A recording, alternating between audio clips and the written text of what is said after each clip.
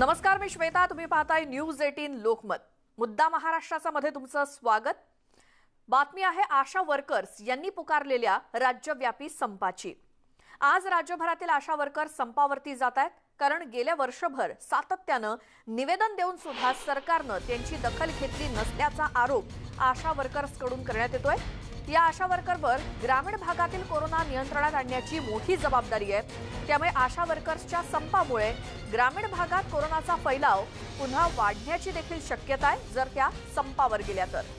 दिवसाला बारा तास काम करून सुद्धा केवळ पस्तीस रुपये मानधन त्यांना दिलं जात असल्याचं आशा वर्कर्सकडून सांगण्यात येत आहे कोरोना काळामध्ये करत असलेल्या कामांसोबतच त्यांना नियमितपणे नेमून दिलेली बहात्तरपेक्षा जास्त कामं देखील त्यांना करावी लागत आहेत आणि आशा वर्कर्सचं शाब्दिक कौतुक होतं तर मग त्यांना आर्थिक मदत का मिळत नाही? असा सवाल देखील त्यांनी उपस्थित केलाय.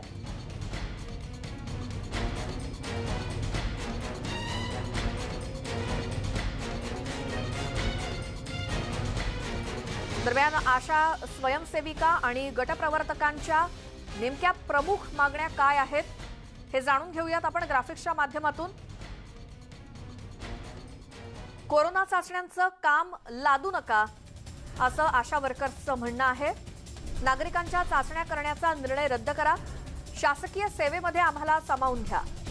आशा स्वयंसेविकांना अठरा हजार रुपये वेतन द्या अशा त्यांच्या मागण्या आहेत. याच संदर्भात आपण अधिक माहिती घेऊयात. नाशिकमधून आमचे प्रतिनिधी प्रशांत बाग आपल्यासोबत जोडले गेलेत. प्रशांत जेव्हापासून कोरोनाचं संकट आहे ग्रामीण भागामध्ये आशा वर्कर्स काय आणि कशा पद्धतीनं काम काम करतायत आपल्या सगळ्यांना माहिती आहे. मात्र त्यांना मोबदला मिळत नाही.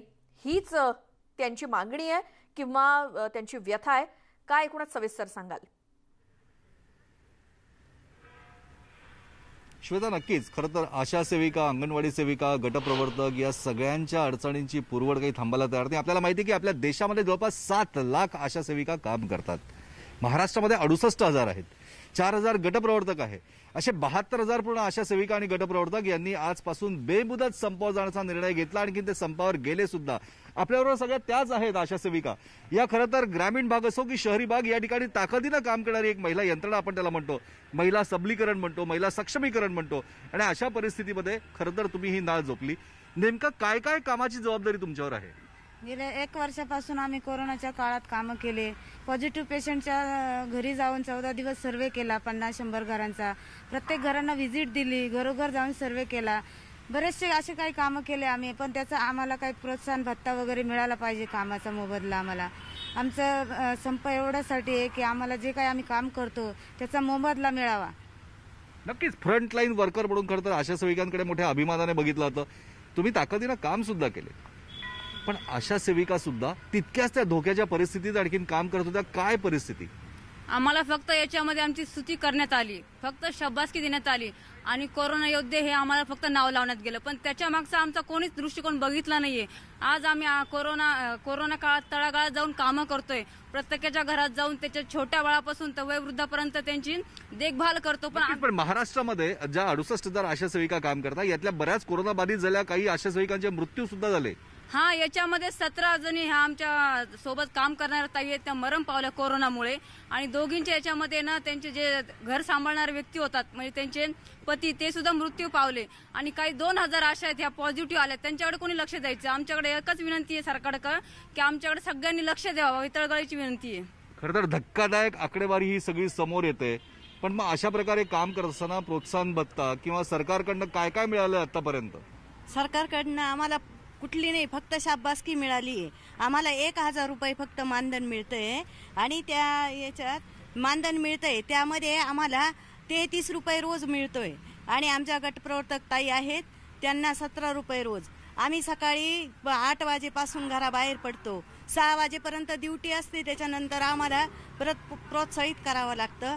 कोरोनाचे जे आहेत लसीकरणासाठी आणि बूथवर थांबण्यासाठी आम्ही प्रत्येक गोष्टीत आम्ही लक्ष देतोय लसीकरणासाठी मदत करतोय. मग सरकारने हा आमच्या प्रोत्साहन भत्ता कोण देतं? राज्य सरकार केंद्र सरकार? केंद्र सरकार. केंद्र सरकारच्या माध्यमातून हे खरं पैसे मिळतात राजू भाऊ पण आज परवड ही काही थांबायला तयार नाहीये. काय सांगाल? लढा तुमचा कायम सुरू आहे. गेले वर्षभर मार्चपासून आमच्या आशाताई गटप्रवर्तक कोरोनाचा योद्धा म्हणून गाव पातळीवर शहरात वस्ती पातळीवर जाऊन काम करतायत. मात्र सरकारने त्यांची फक्त शाबासकी दिली परंतु एक रुपया फेकून मारला नाही. एक हजार रुपये प्रोत्साहन भत्ता फक्त जो देत आहेत ते केंद्र सरकार देत आहे आणि गटप्रवर्तकांना पाचशे रुपयेच फक्त मिळत आहेत. प्रश्न असा आहे की ह्या गटप्रवर्तकांना आणि आशांना जे कामाची दखल घेतली पाहिजे जे कायम कर्मचारी आहेत परमनंट आहेत त्यांना पाच ते दहा हजार रुपये प्रोत्साहन भत्ता राज्य सरकार देते तर आशा गटप्रवर्तकांना का देत नाही हा पण आहे. महापालिकांच्या माध्यमातून खरं आशा सेविका किंवा ग्रामीण भागामध्ये आरोग्य यंत्रणेच्या माध्यमातून दोन पैसे मिळणं आवश्यक आहे. ते मिळालेच नाहीये महाराष्ट्रात कुठे? महाराष्ट्रामध्ये मुंबई सारखी महानगरपालिका आहे ती तीनशे रुपये प्रोत्साहन भत्ता आशांना देते आहे. मग महाराष्ट्रातल्या इतर नगरपालिका का देत नाही? हा खरा प्रश्न आहे. निवडणुकी आहे म्हणून तिथं देतात की काय? असा एक मनामध्ये प्रश्न विचारतायत.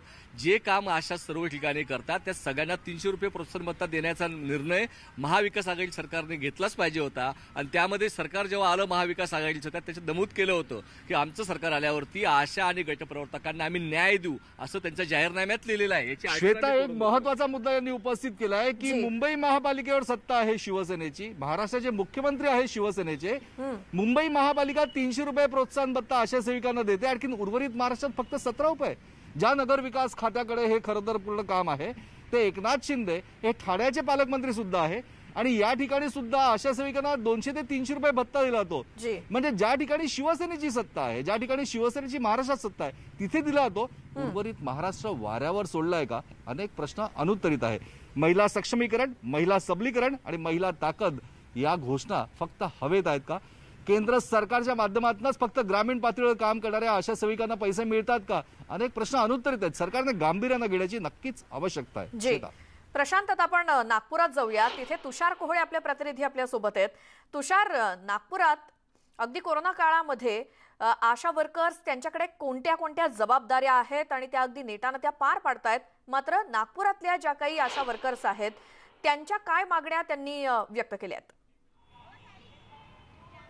जर का बघायचं झालं तर नागपूर शहर हे कोरोनाचं मोठं हॉटस्पॉट होतं. म्हणजे देशातच इतकं मोठं हॉटस्पॉट होतं की वरच्या पाच शहरामध्ये नागपूर शहराचा समावेश होता. आणि या काळामध्ये ज्या लोकांनी काम केलं त्यामध्ये आशा वर्कर या फ्रंटलाईन वर्कर म्हणून काम करत होत्या फील्डवर काम करत होत्या. असं असताना देखील आज त्यांना आंदोलन करावं लागतं. त्यांच्या नेमक्या काय मागण्या हे आपण जाणून घेऊया. ताई मला सांगा की काय तुमच्या प्रमुख मागण्या आहे? सुरुवातीला हे का सांगा कोविड काळामध्ये कशा प्रकारे काम केलं तुम्ही? सर आम्ही सतरंजीपुरा झोनमध्ये पूर्ण वस्तीमध्ये कोणी माणूस बाहेर निघत नव्हता. ते मी तेव्हा आम्ही काम केलं आहे.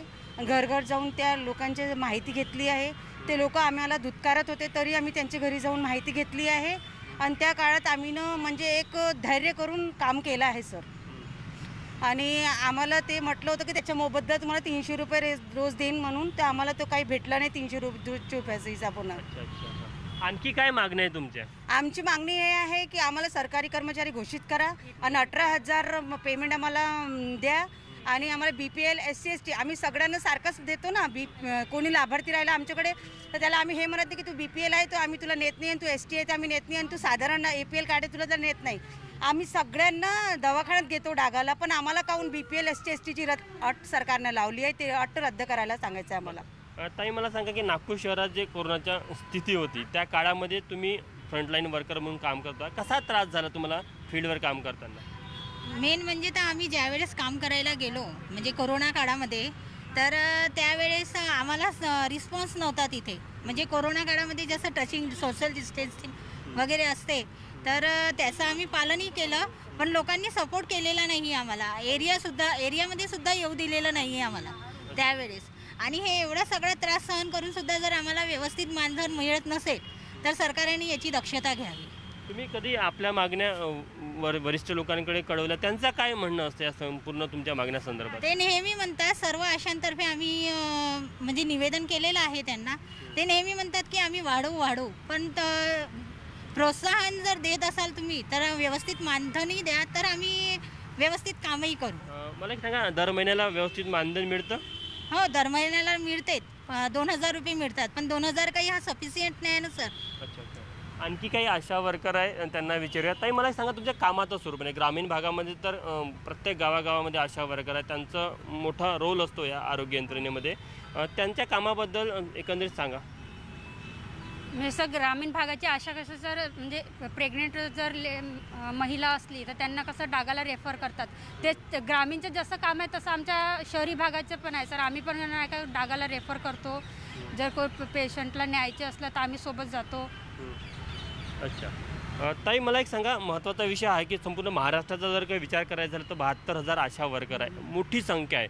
आणि आरोग्य यंत्रणेतला महत्त्वाचा रोल आशा वर्कर प्ले करतात. काय वाटतं तुम्हाला? तुम्हाला तुमच्या कामाचं योग्य मोबदला मिळत नाही एक योग्य वागणूक मिळत नाही. तुम्हाला प्रशासनाकडनं देखील दुय्यम नजरेनं बघितलं जातं? हो. असं हो वाटतं का? सर हो सर. कारण की आम्ही जेव्हा सर्वे करतो ना तेव्हा लोक आम्हाला घरात नाही येऊ देत. आम्हाला पाहायला तुमचं हेच काम आहे का? नेहमी नेहमी आम्हाला विचारते शुगर आहे बीपी आहे म्हणून असं धुतकारल्यासारखे आम्हाला म्हणता तरी आम्ही त्यांच्या घरी जातो की नाही तुमच्या आम्ही तुमच्या आरोग्यासाठी इथं आलो आहे तुमच्या पोरबाराच्या संरक्षणासाठी आम्ही आलो. आम्ही असं त्यांना म्हणतो. अच्छा. ओके. मला एक सांगा की अ, अनेक वर्षापासून तुमचं आंदोलन सुरू आहे. अ, सुरुवातीला किती मानधन मिळत होतं आणि आता किती मानधन मिळतं? सुरुवातीला असं प पाचशे रुपये मिळत होते मग अं, पाचशेमध्ये मग हजार रुपये व- वाढ झाली. म्हणजे असे पंधराशे मिळत होते ना आता प- पाचशे रुपये मग पुन्हा वाढवले असे दोन हजार रुपये मिळतात आम्हाला. आपण बघू शकतो की या आशा वर्कर आहे संपूर्ण महाराष्ट्रामध्ये साधारण बहात्तर हजार आशा वर्कर आहे जवळपास. आणि या सर्व आशा वर्करच्या एकच मागणी आहे की त्यांना जे मिळणारं मानधन आहे ते अत्यंत तुटपुंज आहे. या व्यतिरिक्त त्यांना जी वागणूक मिळते कारण की त्या फील्डवर काम करतात. फील्डवर काम करताना त्यांना अनेक समस्याचा सामना करावा लागतं. असं असताना देखील त्यांना त्याच्या बदल्यामध्ये जो योग्य मोबदला मिळाला पाहिजे तो यो- योग्य मोबदला मिळत नाही. आणि एक तर समाजाकडनं त्यांना योग्य वागणूक देखील मिळत नाही. जर का त्यांना आर- सरकारी कर्मचाऱ्याचा दर्जा मिळाला तर निदान त्यांना एक बॅकअप राहील. आणि त्या आधारावर ते आणखी चांगली पद्धतीने काम करू शकेल असं यांची मागणी आहे. बरोबर. तुषार आपण आता पुन्हा नाशिकमध्ये जाऊयात. प्रशांत बाग तिथे आपले प्रतिनिधी आहेत. त्यांच्यासोबत देखील अनेक आशा वर्कर्स आहेतच. खरं तर शासनानं त्यांची लवकरात लवकर दखल घ्यावी हीच आपली देखील अपेक्षा आहे आणि तोच प्रयत्न आहे. मात्र जर का आजपासून राज्यव्यापी संपावरती या आशा वर्कर्स गेल्या तर त्याचे काय परिणाम दिसतील? काय परिस्थिती उद्भवेल? श्वेता नेमक्या मुद्द्याला खरं तर तू स्पर्श केला आहे की ज्या पद्धतीनं शहरी असो की ग्रामीण भाग ज्या पद्धतीनं कोरोना काळामध्ये गेल्या वर्षभरापासून या आशा वर्कर सेविका काम करतायत यांचं कार्य खरोखर कौतुकास्पद नक्कीच आहे. खरं तर बारा तेरा वर्षापासून काम करणाऱ्या अनेक आशा वर्कर आपल्यावर आहेत. पाचशे रुपयावर दोन हजार अकराला ज्यावेळेस सुरुवात झाली होती आज कुठेतरी मुश्किलने चार हजार रुपये मिळतात. हातात किती मिळतात पैसे? सर पेमेंट होतो आमचा पाच सहा हजार रुपये. हो पण ते तुम्हाला पुरेसं आहे? तुम्हाला प्रोत्साहन भत्ता दोन दोन वेळा तुम्ही सर्वे केले. दोन्ही सर्वेचे पैसे मिळाले? नाही. तो भत्ता आम्हाला पुरेसा नाही आहे आणि आम्ही आमचं कुटुंब सांभाळून इतरांचंही कुटुंब सांभाळतो. त्या तशी आमच्याबद्दल दखल घ्यावी. दखल घ्यावी? प्रामाणिक अपेक्षा आहेत. प्रत्येक गाव शहर खेडेगाव प्रत्येक ठिकाणी तुम्ही जात असतात. पण तुम्हाला मिळणारा सगळा मानधन तुटपुंज आहे? नाही. मी एवढंच बोलू शकते. बोलण्यापेक्षा काम करण्याकडे सगळ्यात जास्त कल देतात पण ज्या पद्धतीनं आपण सगळेजण कामाला लागलो आहोत काय सांगाल? सर आशा ही प्रत्येक तळागाळात पोहोचते घरोघरी जाऊन सर्वे करते सर्व कामं करते आणि तेवढा मोबदला तिला मिळत नाही. तर माझी अशी अपेक्षा आहे की आशांना सगळा मोबदला मिळाला पाहिजे जे ते काम करतात ते आणि शासनाने पण दखल घेतली पाहिजे. ज्यावेळेस आशा सेविकांची नियुक्ती झाली त्यावेळेस साडेसातशे रुपये त्यांना वर्षाला मिळत होते. नंतर कुठेतरी लढ्याला यश मिळालं दोन हजार अकराला पाचशे रुपये मानधन सुरू झालं. आणि आज साडेतीन हजार रुपये. अतिशय दुर्दैव आहे की आपण म्हणतो की महिलांचा सन्मान करणारा आपला देश आहे. पण दुर्दैवाने मला म्हणावं असं वाटतं की जितके योजना कर्मचारी आहेत आशा असतील गटप्रवर्तक असतील अंगणवाडी कर्मचारी असतील यांना दहा हजार रुपये सुद्धा किमान वेतन दिलं जात नाही. गटप्रवर्तकांची तर अशी अवस्था आहे की त्यांना फक्त प्रवास खर्च दिला जातो. त्यांना मानधन पण नाही आणि पगार पण नाही. म्हणजे कामासाठी वापरून घेतात आणि मोफत काम करून घेतात. गटप्रवर्तकांवरती हा अन्याय त्यांना कंत्राटी पद्धतीची ऑर्डर आहे. इतर कंत्राटी कर्मचाऱ्यांना पंधरा हजार रुपये पगार देतात आणि आमच्या गटप्रवर्तक भगिनी शिकलेल्या आहेत मात्र त्यांना फक्त प्रवास खर्चावरती काम केलं जातं हे अतिशय दुर्दैव आहे. हे सातत्याने आम्ही सांगत आहोत परंतु सरकार मात्र आशा आणि गटप्रवर्तकांच्या प्रश्नाकडे दुर्लक्ष करते. महिलांचा सन्मान करायचा असेल तर त्यांना किमान वेतन दिलं पाहिजे. आरोग्य विभागाचं किमान वेतन चतुर्थ श्रेणी कर्मचाऱ्यांचं पंधरा हजार रुपये आहे. त्यापेक्षा कमी काम आमच्या आशा तुम्ही तुम्ही मला सांगा की आता हा सगळा तुम्ही दाद मागताय. आरोग्य मंत्र्यांना उपमुख्यमंत्र्यांना तुम्ही भेटले. काय रिप्लाय मिळाला? अतिशय मला दुर्दैवाने सांगावं असं वाटतं की आम्ही अजितदादांना भेटलो राजेश टोपींशी बोललो आम्हाला वेळ द्या म्हणतात. अहो एक वर्षापासून आम्ही काम केलं आशाताईंनी गटप्रवर्तकांनी कोरोनाचा प्रादुर्भाव जोरदार असताना आम्ही आंदोलन नाही केलं तेव्हा आम्ही फक्त मागण्या केल्या तेरा निवेदनं देऊन झालेत. मुख्यमंत्री महोदयांनी कौतुक केलं त्याबद्दल आम्ही आभारी आहोत. परंतु कौतुकाने पोट भरणार नाही आमची विनंती आहे तळमळीची की या सर्व भगिनी याच्यामध्ये बऱ्याचशा परितक्त्या विधवा महिला आहेत हातावरच्या आर्थिकदृष्ट्या कमकुवत आहेत त्यांना जगण्या इतकं तर पगार तुम्ही द्याल की नाही? लोकांचा गैरसमज होतोय की या रोज उठून काम करतायत त्यांना जास्त रोज पगार उठून असेल. काम करतायत श्वेता काही शब्द हे किती बोलके असतात काही वेदना या किती जाणवून जातात. मुख्यमंत्र्यांनी कौतुक केलं. कौतुकाचं नक्कीच स्वागत आहे पण शब्दांना जर का कृतीचा आधार असेल तर खरा अर्थ प्राप्त होतो. तो अर्थ हा अर्थकारणातला सुद्धा अर्थ असू शकतो. अंगणवाडी सेविका असो का आशा सेविका असो का गटप्रवर्तक या सगळ्यांची माफक अपेक्षा एवढी आहे. काम करायला मग आम्ही कधीच मागे हटलो नाही. जी. फ्रंटलाईन वर्कर म्हणून तुम्ही आमचा गौरव केला. पण आमचा आणि आमच्या कुटुंबाचा सुद्धा तुम्ही विचार करणार का?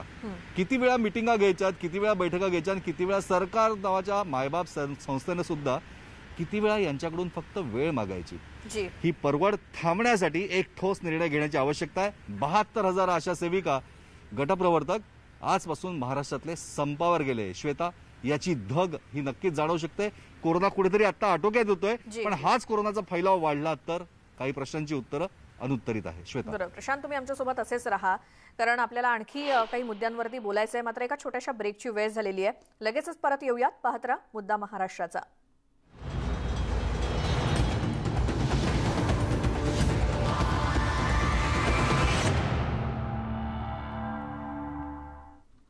ब्रेकनंतर तुमचं स्वागत मुद्दा महाराष्ट्राचा मध्ये.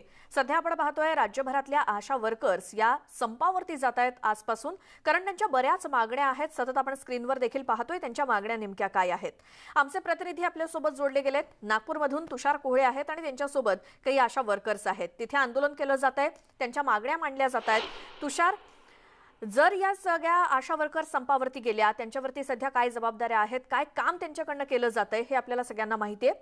मग जर याच संपावर गेल्या तर मग कोरोना काळामध्ये ते काम नेमकं होणार कसं? कारण अगदी ग्रामीण भागामध्ये जाऊन घरोघरी जाऊन सर्वेक्षण करणं ही खूप मोठी जबाबदारी त्यांच्यावरती आहे. निश्चितच जर का बघायचं झालं तर आजपासून या बेमुदत संपावर जात आहे. आणि जर का शासनाने यांच्या मागण्या मान्य केल्या नाही का काही तोडगा काढण्याचा प्रयत्न केला नाही तर निश्चितच महाराष्ट्राच्या आरोग्य यंत्रणेवर याचा मोठा परिणाम पडेल. ज्या आशा वर्कर मुख्यमंत्र्यांसोबत त्यांची बैठक झाली होती अशा आशा वर्कर देखील आहेत. त्यांना आपण विचारू की नेमकं मुख्यमंत्र्यांनी तेव्हा काय म्हटलं होतं आणि काय आश्वासन दिलेलं होतं. मला एक सांगा की सुरुवातीला की मुख्यमंत्र्यांसोबत देखील चर्चा झाली होती बैठक झाली होती. काय नेमकं त्या बैठकीमध्ये चर्चा झाली?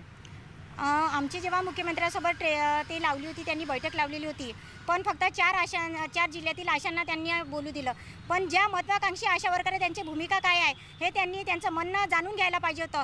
अतिशय दुःखाची बाब आहे की सर्व जिल्ह्यातील आशा वर्करची शोकांतिका आहे की मुख्यमंत्र्यांसोबत आमचं बोलणं करून द्यायला पाहिजे होतं. पण प्रत्येक जिल्ह्याच्या आरोग्य अधिकाऱ्यांनी आम्हाला धमकी दिलेली होती की तुम्ही कोणती चॅटिंग करू नये आणि कोणतेही मेसेज टाकू नये अशी आम्हाला धमकी देण्यात आली होती. न्यूज एटीन लोकमत तुम्हाला एक व्यासपीठ देत आहे. काय मागण्या आहे तुमच्या पूर्ण महाराष्ट्र ऐकत आहे? आमच्या मागण्या आहेत की सर्व आशा गटप्रवर्तकांना एकवीस हजार रुपये वेतन देण्यात यावे आणि पन्नास लाखाचा त्यांच्या परिवाराला विमा देण्यात यावा आणि दहा लाख रुपये आजीवन विमा विमा योजना त्यांना देण्यात यावा. ही आमची मला एक सांगा तुम्ही कोविड काळामध्ये काम केलं. आणि त्या कामाबद्दल सांगा आणि या व्यतिरिक्त इतरही आरोग्य यंत्रणेमध्ये जे काम करतात त्या कामाबद्दल थोडी माहिती द्या. आम्हाला बालमृत्यू आणि माता मृत्यू रोखण्यासाठी आमची नेमणूक झाली आहे आणि ती आम्ही चांगल्या प्रकारे करत आहोत. कोरोना काळामध्ये आम्ही आमच्या जीवाची पर्वा न करता विदाऊट सुरक्षेनं आम्ही काम केलं आहे. पण सरकारचं आमच्याकडे लक्ष नाही. आम्ही जर काम नाही केलं तर सरकार काय करेल? आमचं दोन तीन हजारात भागते का? आज माझ्या घरी माझ्या मिस्टरांचा ॲक्सिडेंट झाला आहे दोन्ही पाय गेले आहे. माझं तीन हजारात माझं घर भागते का? माझ्या मुलांचं शिक्षण होते का हे सरकारला समजायला पाहिजे. कितीतरी विधवा निराधार या सेवेमध्ये काम करत आहे. आणि तळागाळापासून आम्ही काम करत आहोत आम्ही जर उन्हात बाहेर रस्त्यावर आलो नाही आणि जर आम्ही डाटा दिला नाही गव्हर्नमेंटला तर सरकार आजची आरोग्य यंत्रणा पूर्णपणे ढासळून जाईल. मग कोणकोणत्या. सर्वेक्षणचं काम करायला लावलं तुम्हाला? आम्हाला घरोघरी जाऊन सर्वेक्षण करायला जे तुषार आवाज पोचत नाहीये. मात्र ज्या आशा वर्कर्सवरती जबाबदाऱ्या आहेत जे जादाचं काम त्यांच्यावरती लादण्यात आलेलं आहे एकतर दिवसाचे बारा बारा तास काम करायचं मात्र त्या बदल्यात मोबदला हवा तसा मिळत नाही आणि त्यामुळेच संपाचं हत्यार त्यांनी उपसलेलं आहे. नागपुरात तर जाऊयातच मात्र नाशिकमधून प्रशांत बाग आपले प्रतिनिधी आहेत आणि तिथे आशा सेविका सुद्धा त्यांच्यासोबत आहेत. प्रशांत योजनाबाह्य काम आम्हाला देऊ नका म्हणजे काय अतिरिक्त काम त्यांना करावं लागतं? म्हणजे नेमकं त्यांचं काम काय आहे आणि त्याच्या व्यतिरिक्त काय काय काम? कामाचे तास किती आहेत आणि त्याच्यापेक्षा जास्त वेळ काम करावं लागतं का? तर काय नेमकी म्हणजे वास्तव काय आहे? श्वेता योजनाबाह्य काम. हे दोन शब्द जे ना हाच खरं तर कळीचा मुद्दा आहे. ज्यावेळेस आशा सेविकांची मानधनावर नियुक्ती होते त्याच वेळेस त्यांना नियुक्ती करताना ज्या प्रपत्रावर सही करावी लागते त्यावेळेस वेगवेगळे शासकीय धोरण आणखीन शासकीय वेगवेगळ्या परिस्थितीमध्ये काम करण्याला त्यांना सहमती घेतली जाते. आणि हेच खरं तर आशा सेविकांना जाचक होत चाललेलं आहे. अनेक आशा सेविका आपल्यावर आहेत की ज्या पद्धतीनं काम करतायत खरं तर तुमचं कामाचं स्वरूप जे तुम्हाला सांगितलं होतं आणखीन तुम्ही अतिरिक्त करत चाललात किती तास काम करतात? सर आमचं बा आम्हाला एकूण काम बहात्तर कामं आहेत आमचे. पण ह्या कोरोना काळामध्ये ते बहात्तर कामाच्या साईडलाच राहिले फक्त कोरोना कोरोना हा शब्द सगळीकडे गाजलेला चाललेला आहे सध्या. आणि भागामध्ये आमचं सकाळी जवळजवळ तीन तास काम असतं पण कोरोना काळामध्ये आमच्याकडून बारा बारा तास करून घेतले जाते. आणि फोनचं तर हेच नाही सर रात्री बेरात्री कधी पण फोन करतायत. कोरोना पॉझिटिव्ह आला की त्याचा फोन आलाच पाहिजे. फोन आल्यानंतर त्याच्या घरी गेलंच पाहिजे. घरी गेल्यानंतर त्याचं सगळं रेकॉर्ड आलंच पाहिजे. हे आमच्यावर सगळे कामं लादल्या गेलेली सर. हाय रिस्क कॉन्टॅक्ट ट्रेसिंगमध्ये खरं तर तुम्ही मोठं काम केलं पण या सगळ्या विषयामध्ये सुट्टी तुम्हाला मिळत नाही का? नाही सर सुट्टी हा विषयच राहिला नाही. दोन हजार वीसपासून जे काम करतोय तर आजपर्यंत तर आम्हाला हा सुट्टी विषय मिळालेलाच नाहीये सर. काय सांगाल? हे तर म्हणजे धक्कादायक सगळ्या गोष्टी समोर येत आहे. हो सर. कोरोनाची महामारी जेव्हापासनं आपल्या इथे आली आहे तेव्हापासनं पूर्ण रस्त्यावर एकही लोक नसताना फक्त आम्ही आशांनी घरोघरी जाऊन प पॉझिटिव्ह पेशंटला व्हिजिट दिल्या. त्यांना दवाखान्यांमध्ये घेऊन गेलो. होम क्वारंटाईन होण्याची श- माहिती दिली. सगळं काही सांगितलं. आमचे दोन दोन वर्षाचे बाळ आम्ही घरी ठेवले. स्वतःच्या जीवाचा विचार न करता फक्त समाजसेवा समाजसेवा हाच प्रश्न उभा राहिला. परंतु सर ह्या समाजसेवेतून फक्त पोट भरत नाही. पोट भरण्यासाठीही आम्हाला काहीतरी मोबदला सरा- सरकारने द्यावा. आमची मागणी सगळी पूर्ण करावी एवढी ठाकरे सरांना मी विनंती करते. त्यांनी आमचा खूप नाही पण थोडा तरी विचार मान्य करावा. आमचा अंत बघू नका. अशा प्रकारचा कोणताही इशारा आशा सेविका देत नाहीये. या गोष्टीचा सन्मान सरकारनं केला पाहिजे. आवश्यकता आहे प्रत्येकाला त्याचं कुटुंब परिवार याची काळजी घेण्याची. माझे कुटुंब माझी जबाबदारीचे आतापर्यंत दोन वेळा सर्वे झाले. दोन्ही सर्वेचे पैसे दिले जाणार होते. सर्वे दोन वेळा झाले. पैसे मात्र एकाच सर्वेचे मिळाले. मग ही परवड फक्त आशा सेविकांचीच का?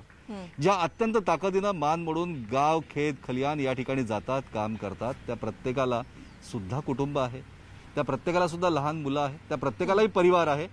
जगाच्या परिवाराची काळजी घेत असताना स्वतःच्या परिवाराकडे दुर्लक्ष करून सुद्धा या आशा सेविका काम करताय श्वेता. सरकारनं या सगळ्याच विषयांना अत्यंत आवश्यकता गांभीर्याने बरोबर. प्रशांत आपल्याला या सगळ्या बारीक सारीक गोष्टी आतापर्यंत माहीत नव्हत्या. कोणत्या परिस्थितीमध्ये त्या काम करतायत आणि किती वेळ त्यांचं काम सुरू आहे किती अतिरिक्त काम त्या करतायत? मात्र आपण न्यूज एटीन लोकमतच्या माध्यमातून सरकारपर्यंत त्यांचा आवाज पोहोचवण्याचा प्रामाणिक प्रयत्न तर करतोच आहोत. औरंगाबादमधून आपले प्रतिनिधी सिद्धार्थ गोदाम आपल्यासोबत जोडले गेलेत. सिद्धार्थ आपण आशा सेविकांच्या काही आपल्या पॉझिटिव्ह न्यूजमध्ये सुद्धा बातम्या दाखवलेल्या होत्या. स्वतःच्या जीवाची पर्वा न करता कोरोना काळामध्ये स्वतःचं घर बाजूला ठेवून दुसऱ्यांसाठी काम करणाऱ्या आशा सेविका आणि त्यांची आज अशी परिस्थिती मोबदला मिळावा यासाठी आंदोलन करावं लागतंय? काय तिकडच्या आशा सेविकांचं म्हणणं? श्वेता एकच वाक्यात सांगतो की मुख्यमंत्र्यांसोबत ऑनलाईन यांची चर्चा झाली होती. तेव्हाच मुख्यमंत्र्यांनी स्वतः मान्य केलं होतं की आशा वर्कर्स या आरोग्य विभागाच्या कणा आहेत. आणि त्यानंतर त्यांना आम्ही वाऱ्यावर सोडणार नाही असं आश्वासनही मुख्यमंत्र्यांनी दिलं होतं. मग आता त्या आश्वासनाचं काय झालं? का त्यांच्या मागण्या पूर्ण होत नाहीत? आपण आधी पण ऐकलं जे आशा वर्कर्स जे सांगतायत ते खरं आहे की छोटे छोटे बाळ घरामध्ये ठेवून या महिला दुसऱ्यासाठी जाऊन काम करतात. जीवर उदार होऊन काम झालेलं आहे कोरोना काळात. मात्र त्यांच्याकडे आज सरकार दुर्लक्ष करते मॅडम काय भावना आहे? तीव्र नाराजी आहे. सरकारविषयी जे आश्वासनं दिले होते ते अद्यापही सरकारने निभवलेले नाहीये. कोरोना महामारीमध्ये आशांनी तर हातावर जीव घेऊन जे काम केलेलं आहे त्यांचे कुटुंब पूर्णचे पूर्ण कोरोनाग्रस्त झालेले आहेत. काही आशांचे ऑपरेशन झालेले आहेत आठ आठ नऊ नऊ महिन्याचे. आणि त्यांच्यावर अनेक प्रकारचे अन्याय झालेले आहेत. परंतु सरकारने काही या गोष्टी मनावर घेतलेल्या नाही. अनेक वेळा वारंवार निदर्शने धरणे आंदोलनं ह्या सगळ्या गोष्टी केलेल्या आहेत. परंतु सरकारने काही त्या गोष्टी मनावर घेतलेल्या नाही आहेत म्हणून आता जी परवाची बैठक झाली ती बैठक सुद्धा निष्फळ झालेली आहे. म्हणून महाराष्ट्र राज्य आशा फेडरेशनने हा निर्णय घेतलेला आहे की जोपर्यंत मागण्या मान्य होत नाहीत समान कामाला समान काम मिळत नाही तोपर्यंत हा संप चालू राहील. काय नेमकं म्हणणं आहे? तुम्ही प्रत्यक्ष फील्डवर आहात. नेमका हेच म्हणणं आहे चोवीस तीन दोन हजार वीसपासून हा कोविड सुरू झालेला आहे. पहिलेच पेशंट हे नोंदमध्ये निघलेलो आहे. जेव्हा आम्हाला कळलंय का हे पॉझिटिव्ह कोविड सुरू झालेला आहे आम्ही पूर्णतः घाबरून गेलेलो आहे. सर्व एरियामध्ये कसं करायचं? आम्ही कीड घालून एरियामध्ये गेलो तेव्हा आम्हाला लोक बघून सर्व दरवाजा लवित होतो. तेव्हापासून तर आतापर्यंत आम्ही कामं करत आले. त्याचा मोबदला आम्हाला आतापर्यंत तो काही मिळाला नाही आहे आणि आता सध्याला बी बहात्तर हेडवर काम करतात. ज्या जो मधला मिळायचा आहे जिथं दोन हजार यायचा आहे तिथं सतराशे रुपये टाकतात. जिथं बावीसशे रुपये तिथं सतराशे पंधराशे हजार रुपये टाकतात. आम्हाला जो काही मोबदला समानधारक कारक मिळत नाही आहे आतापर्यंत जो आम्ही काम करतोय त्याचं समाधान तर मिळतच नाही प्रत्येक अशा अडचणीत असतानाही वरून सेंटरवरून आयुक्त सांगतात तुमची ऑर्डर निघलेली आहे. तुम्ही ह्या ठिकाणी जा. ह्या आज कमिशनर येणार आहे. थोडक्यात फिरवण्याचं काम करतात मॅडम. तुम्ही ब- गेलाय तुमच्यावर हल्ले झाले अनेक ठिकाणी लोकांनी मारहाण केलेली तुम्हाला त्या काळामध्ये. तरी सरकारला काही जाणीव नाही? आशांविषयी मी एक सांगेल की मुख्यमंत्री साहेबांनीच कबूल केलंय की खरंच आशा खूप प्रामाणिकपणे काम करतायत. आणि खरंच हे सगळ्यांना माहिती आहे. तर मुख्यमंत्री साहेबांना मा- माझी एक विनंती आहे सर तुम्ही आमचं तोंड भरून कौतुक केलं. तोंड भरून कौतुक केलं कौतुकाची थाप आमच्या पाठीवर दिली. परंतु ब- कौतुकाने मन भरतं पोट भरत नाही. आमच्या पाठीवर जरी तुम्ही थाप दिली असेल तर आमच्या पोटाचं काय? आमच्या पोटाचा कधी विचार करणार आहात? आहात तुम्ही. आणि किती दिवस आम्हाला असं वेट बिगाऱ्यासारखं राबवणार आहात? आम्ही उपाशीपोटी किती दिवस काम करायचं? तुम्हाला किती वेळ हवा आहे आता? आणखी यापुढे आणखी किती वेळ घेणार आहात तुम्ही आमच्या न्याय आणि हक्कासाठी? आमच्या मागण्याकडे तुम्ही किती वेळ घेणार आहात? लवकरात लवकर आमच्या न्याय आणि हक्काचा प्रश्न जो आहे तो मार्गी लावावा आणि आम्हाला समान कामाला समान मानधन समान वेतन वेतन द्या. कर्मचाऱ्याचा दर्जा द्या. आजपर्यंत आम्ही स्वयंसेविका म्हटल्या जातो परंतु आमच्याकडून पूर्णपणे काम करून घेतलं जातं. आठ आठ तास नऊ नऊ आमच्या कामाचा वेळ नाही. रात्रंदिवस आम्हाला या कामामध्ये राबावं लागतं. किती दिवस आम्ही असं उपाशीपोटी काम करणार? केव्हा तुम्ही आमच्या पोटाची सोय करणार साहेब? सगळ्या आशांच्या मार्फत मी विनंती करते की आमच्या पोटाचा विचार करा आणि आम्हाला आमचा हक्क मिळून द्या. बघितलं की मॅडम मी आम्हीच बातम्या केलेल्या अनेक आशा वर्कर्सना धक्काबुक्की झालेली आहे. लोकांनी घराच्या बाहेर गावाच्या बाहेर हकलून दिलेलं आहे. असं अपमानास्पद काम करावं लागलेलं आहे. मात्र सरकार काय तुमचा स्वाभिमान परत देईल? सरकारने आता मध्ये घोषणा केली होती की नव्वद दिवसामध्ये जे कोविडमध्ये नव्वद दिवस काम करेल त्यांना शासकीय सेवेत सामावून घेण्यात येईल. पण आम्ही आज दोन वर्ष झाले एकोणावीसपासून जसा कोविड चालू झाला तसं आमचं रात्रंदिवस काम करतोय आम्ही. पण आम आमचा ते- एवढा जी आर निघाला पण आमचं त्याच्यात एकही नाव नाही. सगळीकडे डॉक्टरांचं सिस्टर लोकांचं नाव येतं. आणि जे सिस्टर लोक काम करतात ते त्यांना आम्ही एरियामधून आम्ही जमा करून आणून देतो. ते बसल्या बसल्या नुसते कागद काळे करतात आणि त्यांना सेवेत सामावून घेणार. आणि आम्हाला नुसतं वाऱ्या वाऱ्यावर सोडणार. हे हे आम्ही सरकारवर अतिशय नाराज आहे. नाराज आहेत. बघितलं श्वेता आपण मान अपमान सहन करून जीव धोक्यात घालून या महिला काम करतात मुख्यमंत्री तारीफ करतात तोंड भरून कौतुक करतात. मात्र कौतुकानं पोट भरत नाही ही खरी वास्तव आता या महिलांनी मांडलेली आहे. श्वेता. बिलकुल. सिद्धार्थ प्रशांत आणि तुषार सगळ्यांनी आमच्यासोबत असेच राहा कारण आपल्याला आणखी काही मुद्द्यांवरती बोलायचं आहे आणि या आशा वर्कर्सचा आवाज अगदी शासन दरबारी पोहोचला गेला पाहिजे त्यांना त्यांचा कामाचा मोबदला मिळावा यासाठी आपला हा प्रयत्न आहे. एक छोटासा ब्रेक घेऊन परत येतोय. पाहत मुद्दा महाराष्ट्राचा.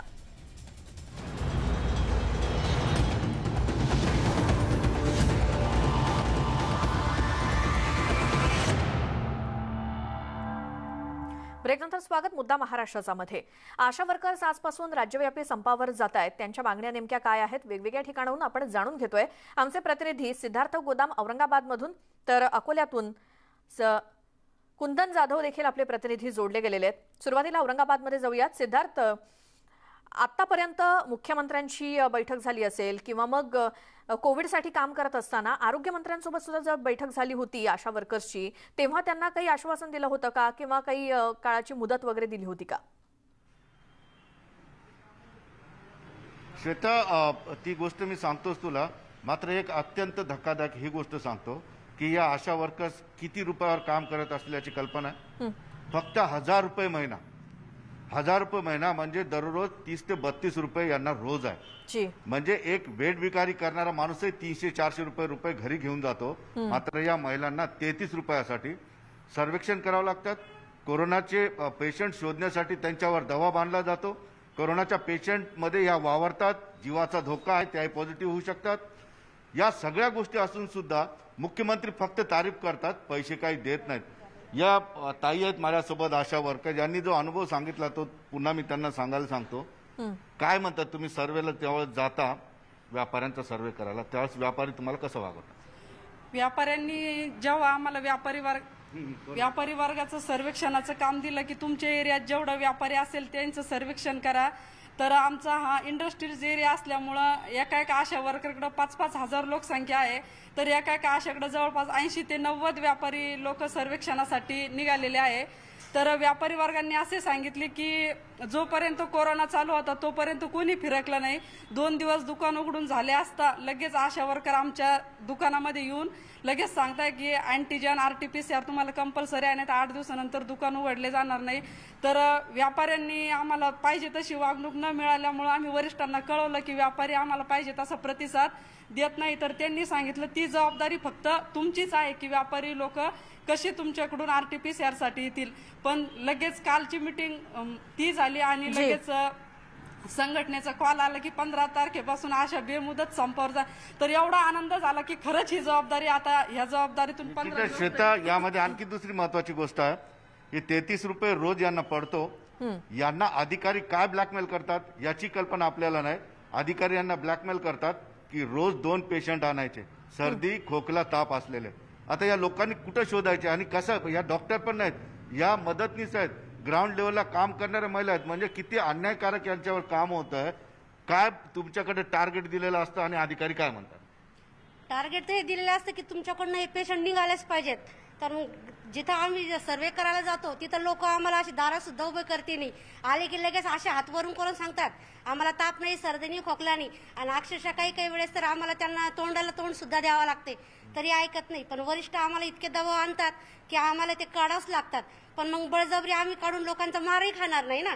आणि एवढं काम करून सुद्धा आम्हाला त्याबद्दल मोबदलाही मिळत नाही. निदान आमचं म्हणणं आहे सरकारला की आम्ही जेवढं काम करतो त्याचा आम्हाला तेवढा मोबदला तरी द्यावा. आम्हाला त्याचा बरोबर आहे. सिद्धार्थ आणि काम तर जास्त करावंच लागतंय आणि त्याच्यावरती प्रेशर सुद्धा मोबदला नाही. ही सगळी परिस्थिती आपण अकोल्यात सुद्धा कुंदन जाधव यांच्याकडून तिकडच्या आशा वर्कर्सचं नेमकं काय म्हणणं आहे हे देखील जाणून घेणार आहोतच एका छोट्याशा ब्रेक नंतर. पाहत राहा न्यूज एटीन लोकमत.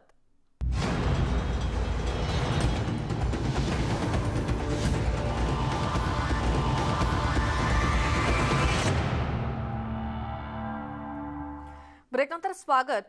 आणि या आशा सेविकांचं जे काही आजपासून राज्यव्यापी आंदोलन सुरू झालेलं आहे या आंदोलनासंदर्भात राज्याचे आरोग्यमंत्री राजेश टोपे यांनी एक वक्तव्य केलंय. ते म्हणतायत आशा सेविकांच्या मागण्यांबाबत सरकारकडून सहानुभूतीनं विचार सुरू आहे आणि त्यांनी कोरोनाची स्थिती समजून आंदोलन करू नये असं आवाहन आरोग्यमंत्री राजेश टोपे यांनी केलेलं होतं.